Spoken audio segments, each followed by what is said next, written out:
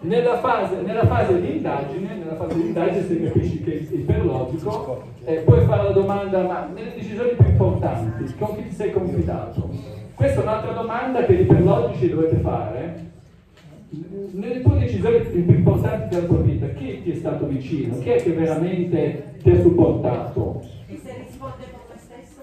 Eh beh, vuol- eh, ricade in quella cosa lì, vuol dire che è lui stesso. Allora, che è il grido parlante? La sua coscienza. E allora devi, dirgli- devi utilizzare frasi del tipo ma ce l'hai una coscienza tu?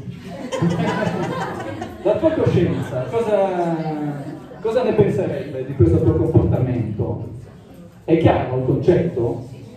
Però se, se una persona è iperlogica, se una persona, dimmi, E se quella, quel grillo parlante non c'è più mancato, per esempio? Ah, no, no, ma non importa che manca. Anzi, se è mancato è più forte ancora.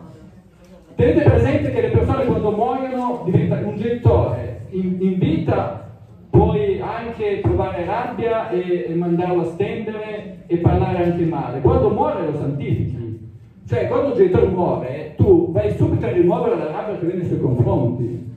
Non potrai mai parlare male di un tuo genitore che è morto. Mai.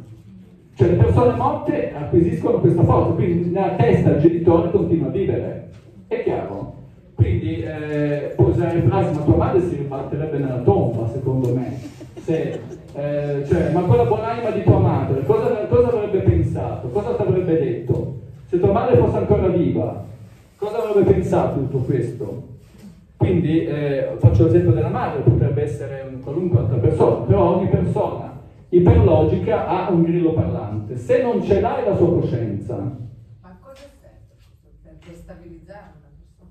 beh, perché il grillo parlante ha un potere nei confronti di quella persona lì. Quindi nella seduzione tu devi indurre, per mettere inizio a fare delle cose che normalmente non vorrebbe fare, no? che il dis- il tuo is- istinto non farebbe.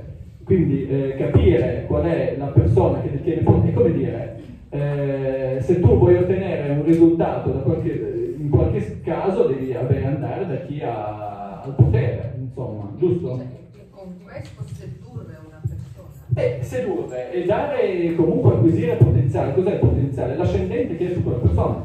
Ascendente logico inizialmente, perché parliamo di persone iperlogiche. Prendere la sua mente.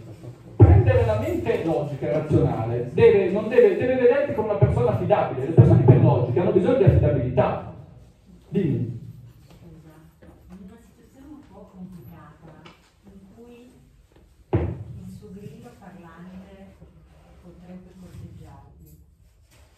Posso anche Eh, beh, interessante questo, interessante, interessante questo, interessante. Interessante. Eh, acquisisci potere sul grillo parlante, cioè ovviamente non devi andare contro il grillo parlante. Acquisisci potere sul grillo parlante. Eh, Cioè, grillo parlante no, tu non devi andare contro il grillo parlante. Devi, eh, come dire, se tu, se tu seduci il grillo parlante, eh, puoi ottenere dei risultati. Eh, lo so, però se io voglio Beh, sì, Si può, si può fare, può magari ne parliamo, adesso è specifico, però si può fare. Devi comunque acquisire potenziale sul grillo parlante. E a lui gliene parli, gliene parli come se si fosse rapportato a te in amicizia però. Quindi fai un po' questo doppio gioco. Col grillo parlante entri, diciamo, acquisendo potenziale e lui gli racconti. Sai che mi ha cercato Tizio Caio, abbiamo parlato, così o meno, perché eh, e questa è la tattica. È chiaro? Sì. Se una persona accetta consigli esempio dal padre sul tipo di relazione migliore per lei, quello potrebbe essere il grillo parlante. Se una persona?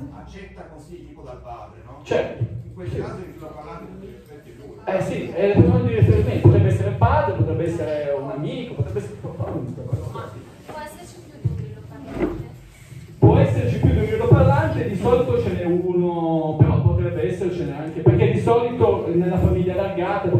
è sempre un parente, in- all'origine, nell'imprinting è sempre stato un parente, potrebbe Ma può essere essere... un parente, un amico, ad esempio. Può essere, può essere, ma dico nell'infanzia, le persone che hanno vissuto forti, diciamo, perché nasce il grillo parlante o eventualmente eh, più di un grillo parlante? Perché dicevo, all'inizio la persona può aver vissuto un'emozione molto forte, sofferenze emotive da bambino e quindi Eh, il grido parlante è un po' un ammortizzatore sociale, no? come quando c'è, che ne so, uno resta, resta, perde il lavoro e gli danno, come si chiama lì, l'assegno di man- no, l'assegno di disoccupazione. E quel- il parlante fa quello, ti dà l'assegno di cittadinanza, diciamo, ti dà la cosa sopra- per sopravvivere. Ok? Quindi acquisisce potenziale.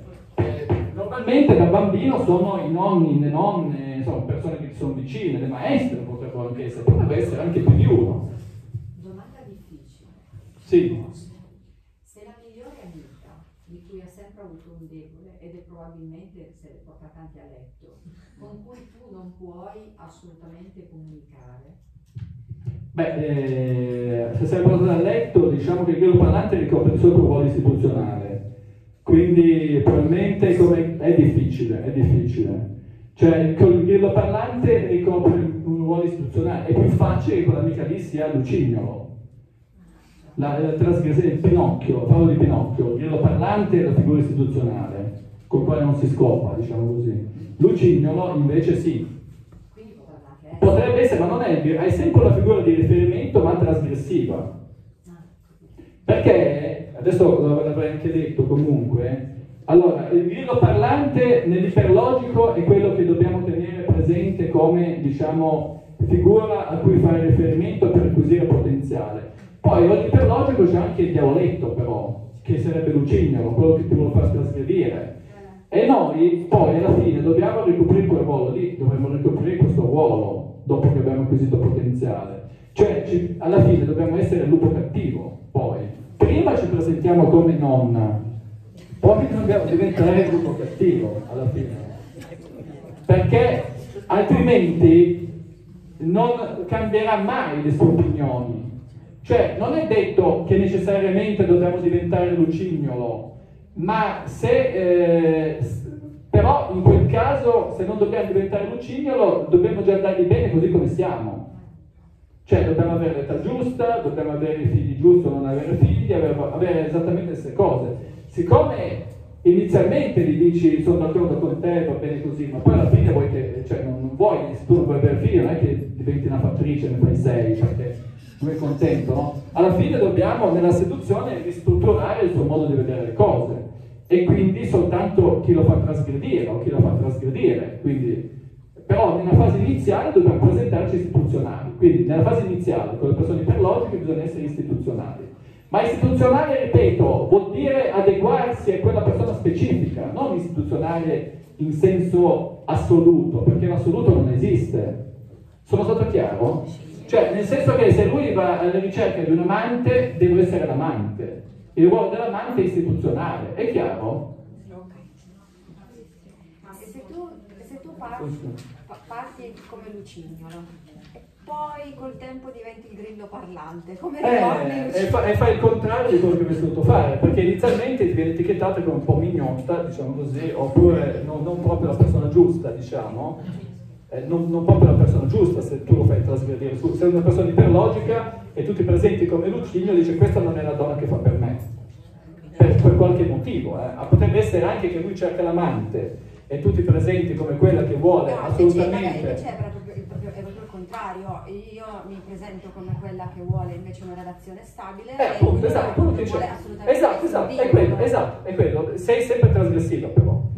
Mm. E- e il concetto di trasgressione di istituzione è soggettivo, perché per una suora, per fare un esempio, è trasgressivo ballare la lap dance in discoteca, per una ballerina di lap dance è trasgressivo passare la notte in Eh, però monastero. poi diventi il grillo parante, è la sua migliore amica.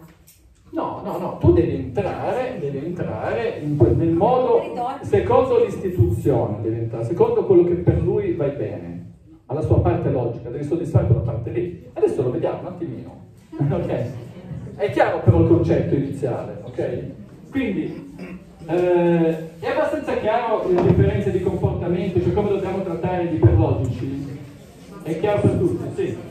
Ma se perso ormai credibilità perché hai fatto uno sbaglio e hai bisogno de- dell'aiuto di questo grillo parlante, come fai a comunicarci senza che poi lui dire a- alla persona amata che tu ti sei rivolta a lui che sta giù? Eh, beh, se tu, allora, le, le possibilità sono diverse. Se tu puoi interagire con il grido parlante, nel senso che può interagire, devi acquisire potenziale sul grillo parlante. Altrimenti, se tu non puoi interagire, eh, puoi sfruttare comunque il potenziale che ha lui, che ha questo grillo parlante nei confronti di quella persona lì. Cioè, dicendo, ma che ne so, Paolo sarebbe d'accordo in questa cosa qua, hai parlato con Paolo per vedere che tu non antagonizzi perlomeno. È chiaro per tutti? Allora, come riconoscere le persone emotive e iperlogiche? Faccio un breve accenno, ma è abbastanza semplice. Eh, beh, il test non verbale, ve lo ricordate? L'avete visto tutti? Il non verbale? Allora, chi è che vuole venire qua? Una persona che vuole venire qua? Una persona che vuole venire qua? Aspetta un secondo, aspetta, ferma lì che...